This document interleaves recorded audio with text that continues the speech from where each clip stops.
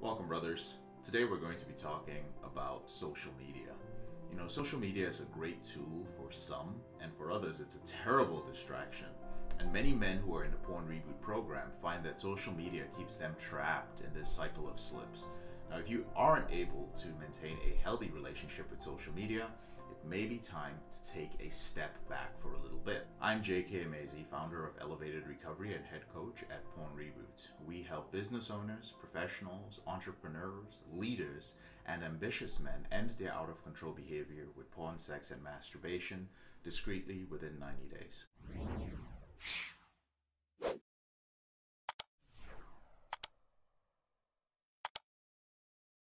You know, some of the things that I often see in our reboot group are things like men saying, like, you know what, I slipped on Twitter, or I found myself on Reddit and I slipped on Reddit while doing some research on something, or I watch a lot of YouTube and I slipped on YouTube, or oh my god, for some reason I I just can't stay off social media.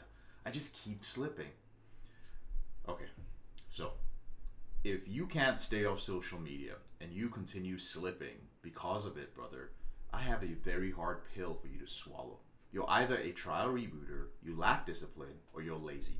There's no other way around it. If you won't remove the thing that's keeping you trapped in the cycle of your porn addiction, then you have a problem on your hands. A man who is fully committed to his reboot will recognize when things are more of a hindrance than a help, and they will let go of whatever gets in between them and their reboot success. They're willing to make complete lifestyle changes in order to avoid ever falling into that cycle of compulsive porn, sex, and masturbation again. Now, here's what social media does social media makes it easy to numb out and not think about what's going on in your life, right? So when you cut out pornography, you might find that you replace it with things like endlessly scrolling on Instagram or Facebook or some other social media platform. And whether you realize it or not, you're doing the same thing with social media that you did with porn, sex, and masturbation. Brother, you are running away from the pain. Now, the porn reboot system is simple, but it's not easy. It requires your complete willingness to give up your old thoughts, your beliefs, and your ideas so that you can replace them with new, healthier, and more helpful thinking patterns and habits. So, Scrolling through social media is another way of disconnecting from the world, especially if it's leading you to slip and view pornography and masturbate.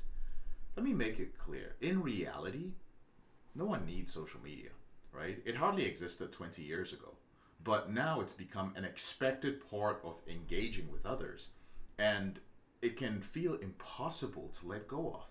However, if it's getting in the way of your reboot, then it will be more than worth the effort to remove it for as long as is necessary.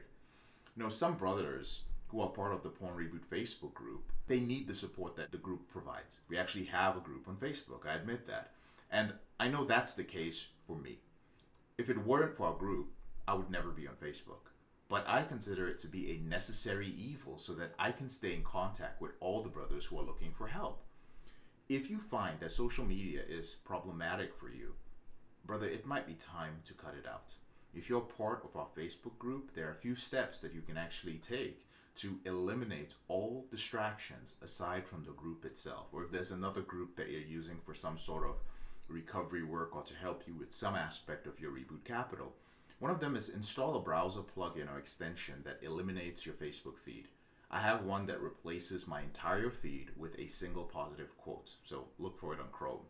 Every time I log in, all I see is a new quote. I don't see anything else. Nobody's updates. Next is schedule your Facebook use and limit it to once per day or twice if you ask for some support in the group and you need to check back on your post. Next is remove everything from your Facebook profile that does not bring value to your life. Practice deleting social media from your phone ever so often. Now, disconnecting from the need to feel constantly connected is a great way to reframe your relationship with social media. On my days off, I delete all my social media. Gentlemen, ultimately, social media is a tool. Now, it's a tool that has grown into this incredible behemoth over the last two decades, but it's a tool nonetheless. If you choose to use it as such, you can receive great benefit from it. But if you allow that tool to control you and determine when you use it, it's far from helpful. If social media is too difficult or distracting, brother, it's best to take some time away from it. There is nothing wrong with taking a step back and trying again once your behavior is under control. Now, you may even find that what you gain from social media really isn't worth the trade off when it comes to the freedom that you feel when you actually remove it. Brothers, ultimately, the best solution for you is the one that supports your successful reboot. So, I highly recommend that you take some time to look at your social media use and reconsider it. I'm JK, your brother in this struggle. Thank you so much for taking the time to watch this video. Now, whenever you're ready, there are a few ways that I can help you end your out of control behavior. The first way is to join our Facebook group. Yes, I know I just talked about social media, but if you are willing to install Chrome, if you're willing to use Facebook just for the group or groups that help you in your reboot, then you should consider joining it. There's a link to join our free group in the description below this video. The next way is to check out my free ebook. It's called Seven Secrets of Porn Free Men, and it's a breakdown of how some of my most successful clients, the steps they actually took to end their out of control behavior.